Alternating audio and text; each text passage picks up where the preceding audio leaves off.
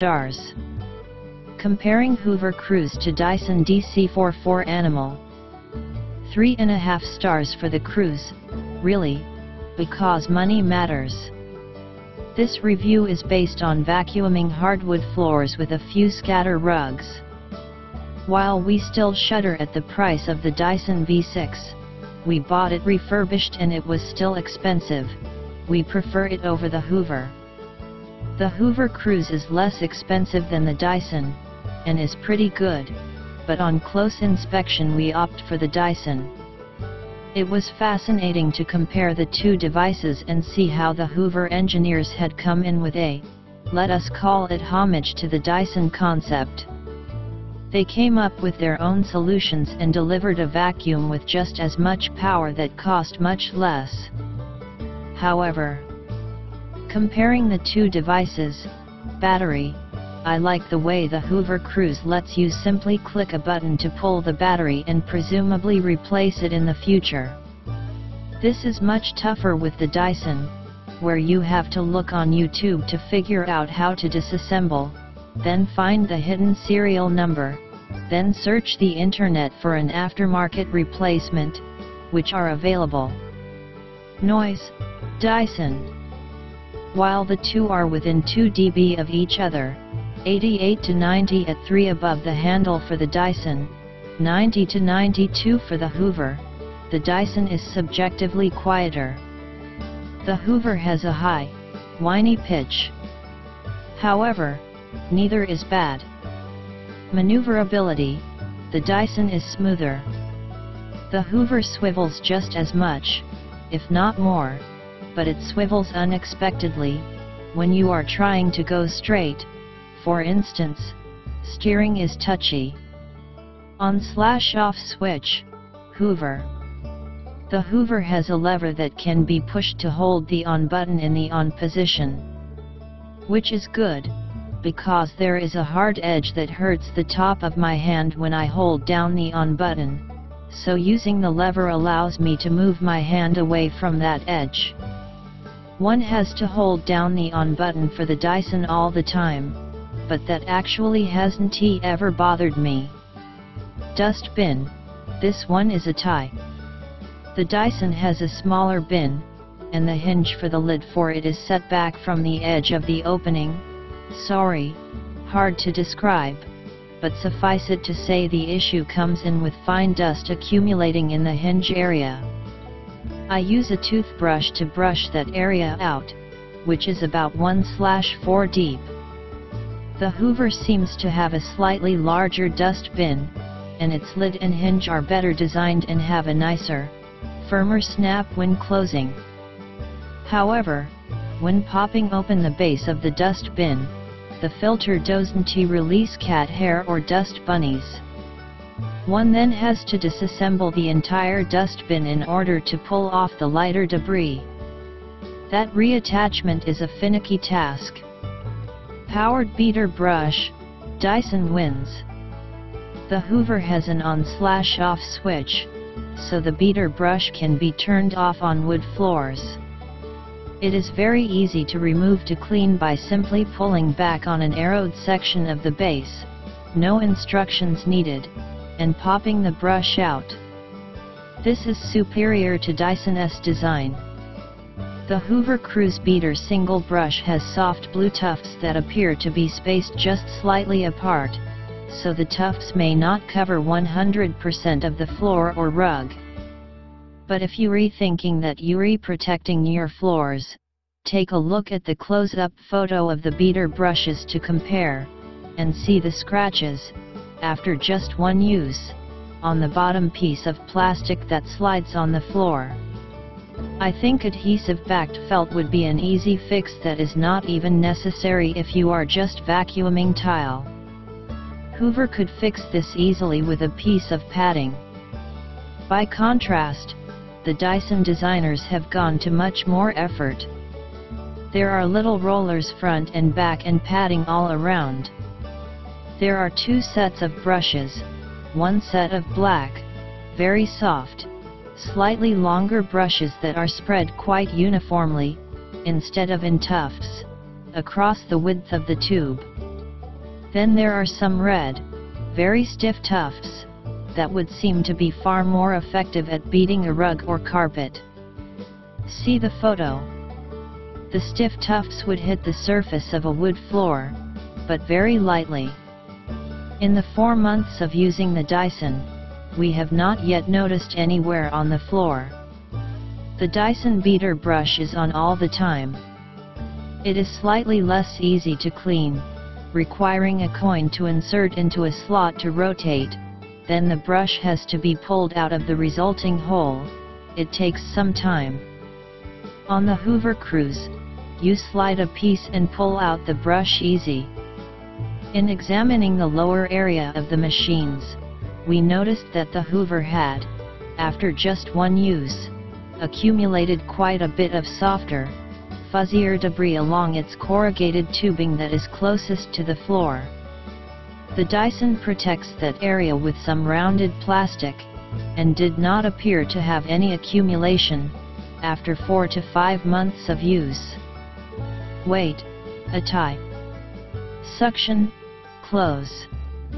The Hoover cleans well but the Dyson sucks harder. Instructions and intuitive operation is a Hoover win, Hoover Cruise wins by far. Unlike those pretentious and puzzling pictographs Dyson is fond of, there are actual English instructions, and labeled pictures.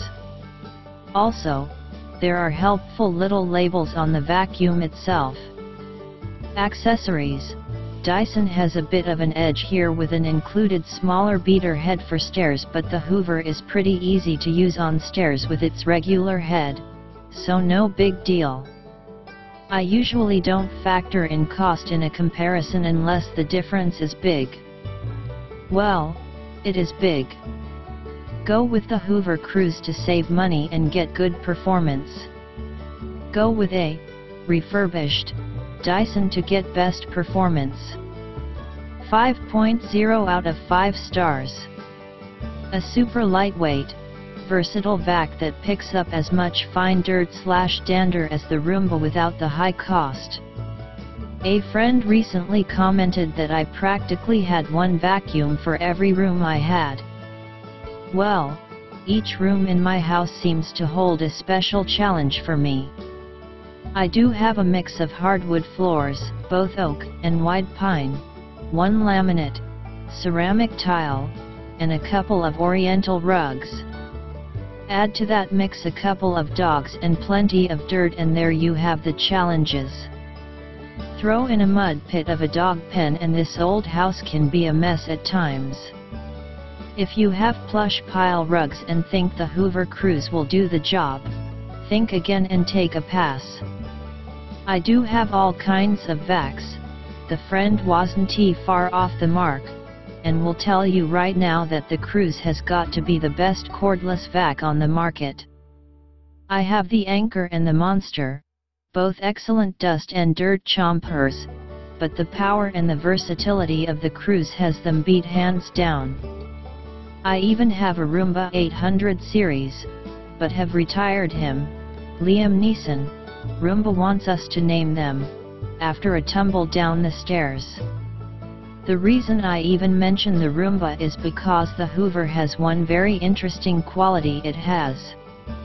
When I was vacuuming, I noticed that the Cruise was picking up that very fine dander and dust that so plagues me. The allergies kick in big time if I am not right up on it. Now, I vacuum, but now that I took my fans out of the window, figured a good fall cleaning was in order.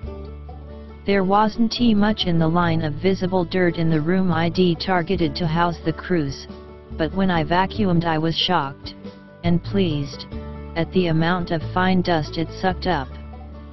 It has that Roomba-like capability of drawing in that very fine dust and dander. For such a lightweight vac, the Cruise has the power of much more expensive vacs. Of course I am getting ahead of myself but I was so impressed with how much dust and dander the Cruise pulled and how rapidly I could fill that canister. Assembly was quite intuitive and I only read the book after I did a thorough vacuuming in the bedrooms, which I need to really keep clean. The Hoover Cruise is a super lightweight vac that is perfect for seniors or those who can T-push a lot of weight. I have a Miele and an Electrolux Silverado, but both of them are super heavy. And then there's my Bissell Trilogy, the vac that's touted as lightweight, but can't even compare to the Cruise. And all of these are attached to a cord. The anchor is cordless and I love it, but the Cruise even beats that by a mile. The Cruise has an easy to empty canister and I can remove the whole thing to clean around the filter. I had to take it apart a couple of times because it was picking up so much fine dander. Lots of pollen and dust came through those window fans, settling on the entire room. It didn't help that the road next to use was graded, sending up even more dirt. Another feature I really liked was the fact that it has an on-slash-off trigger or I could flip a continuous power latch for extended vacuuming.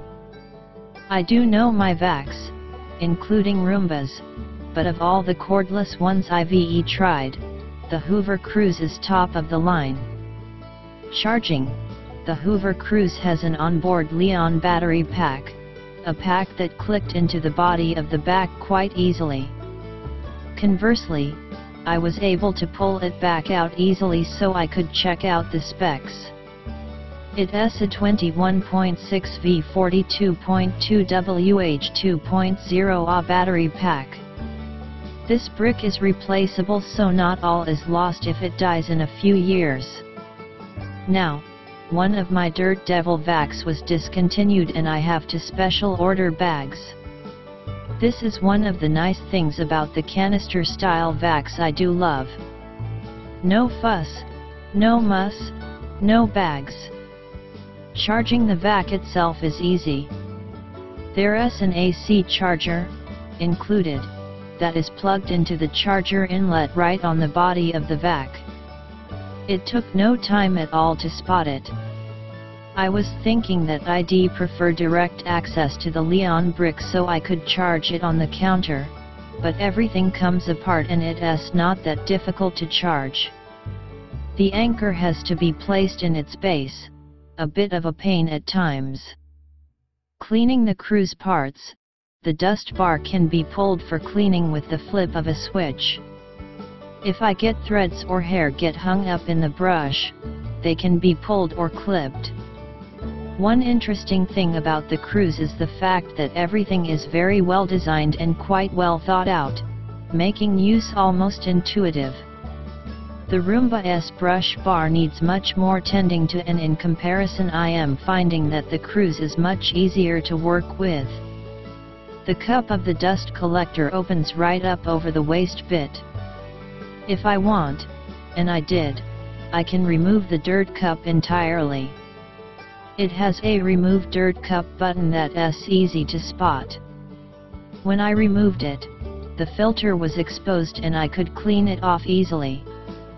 That filter should be kept clean because with the finer dust and dander it can get quite clogged and the suction will go down.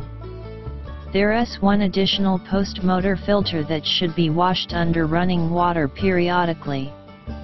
I'll be leaving that out to dry overnight because the vac certainly doesn't need to smell. This particular filter is less fragile than the one in my anchor, but care still should be taken when cleaning any of them. I wiped down everything with a slightly damp microfiber cloth after I was done because the body of the vac was a dust magnet itself. Vacuuming Upright mode vacuuming with the Hoover Cruise was a snap, but it took me a bit to get used to the swivel head. Now the swivel is a great feature because I can turn it to get under things and maneuver around things like my rocking chair or a desk. I do love the mobility, even more so than I have with the anchor, primarily because it is lightweight and picks up more dust and dander. I think my house has the corner on fine dirt, just sayin'. Right above the floor brush is a flex joint that turns readily.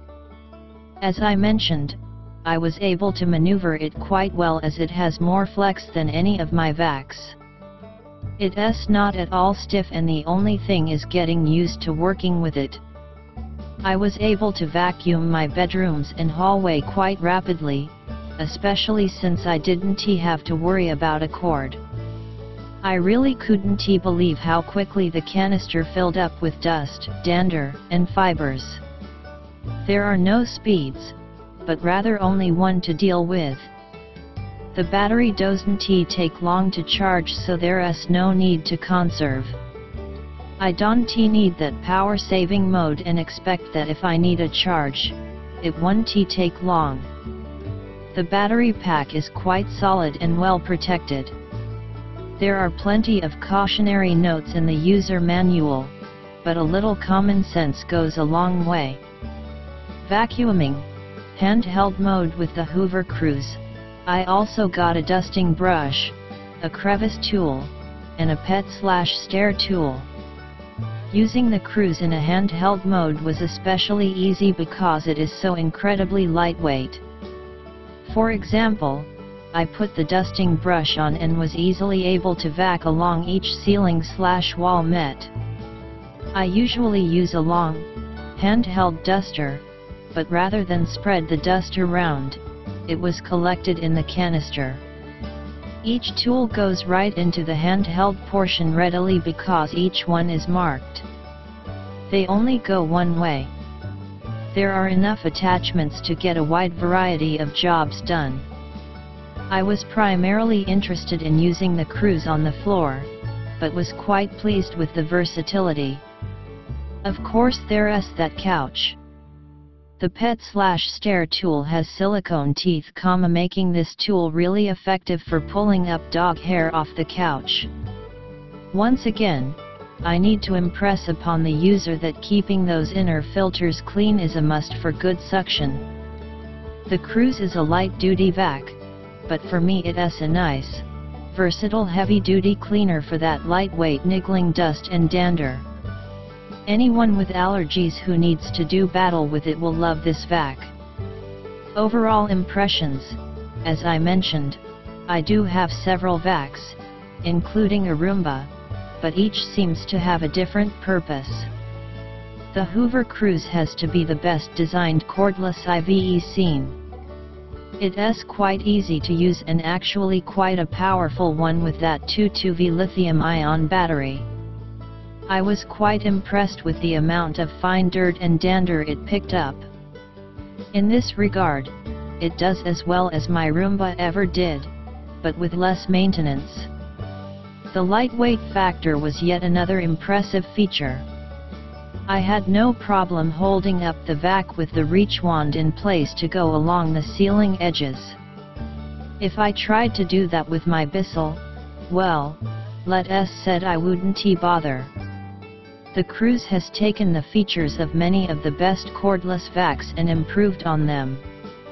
I don't have a Dyson, so can't comment on that, but I have enough vacs to say for certain that I'd recommend this one in a second.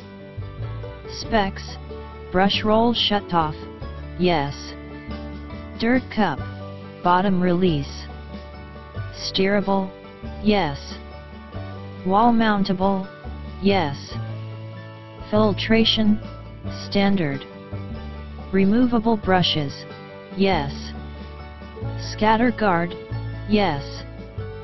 Product weight, 4.7 pounds. Tools included, crevice tool, dusting brush, upholstery slash stir tool. Safety rated, all. Detachable hand vac, yes.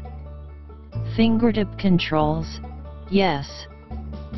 Swivel head, yes. Bagless, yes.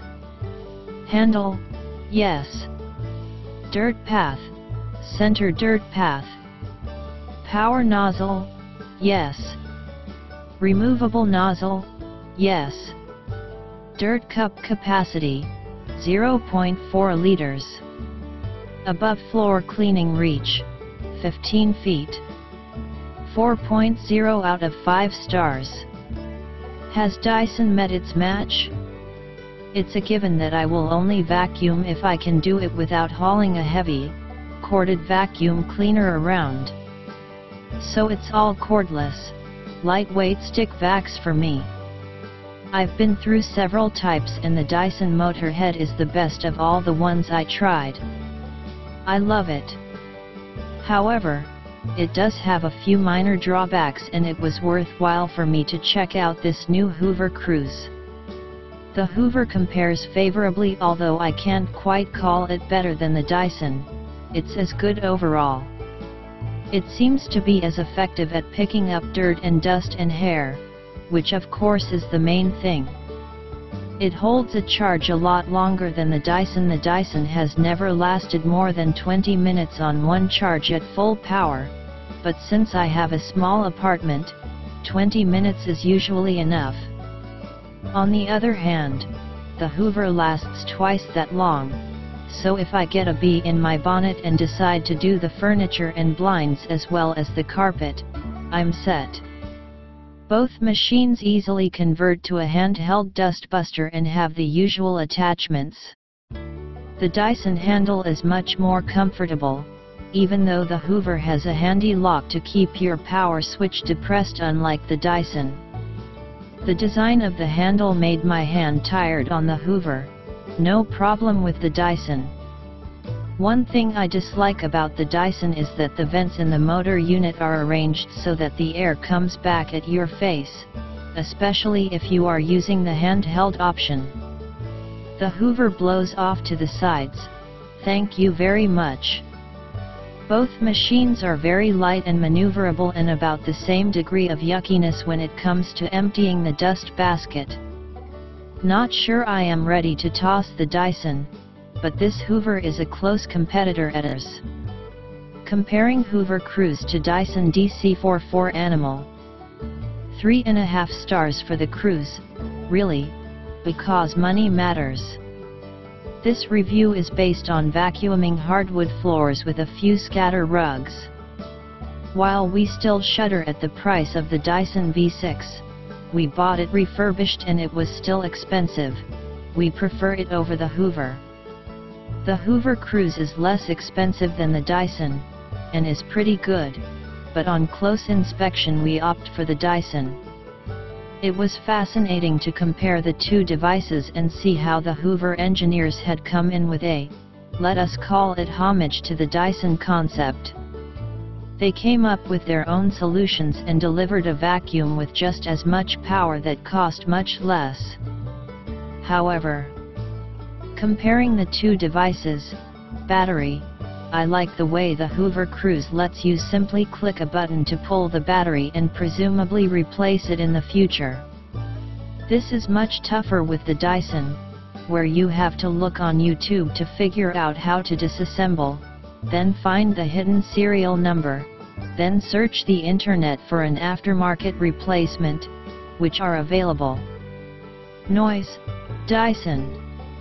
While the two are within 2 dB of each other, 88 to 90 at 3 above the handle for the Dyson, 90 to 92 for the Hoover, the Dyson is subjectively quieter. The Hoover has a high, whiny pitch. However, neither is bad. Maneuverability, the Dyson is smoother.